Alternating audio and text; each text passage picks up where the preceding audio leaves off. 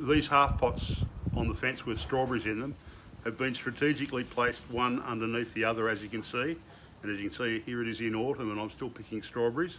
Um, the irrigation has a dribbler on the end of it which is adjustable so that it actually allows more or less water depending upon how big or small the plants are um, and a very easy way of being able to water.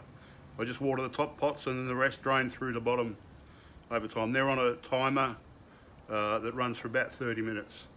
Really easy folks.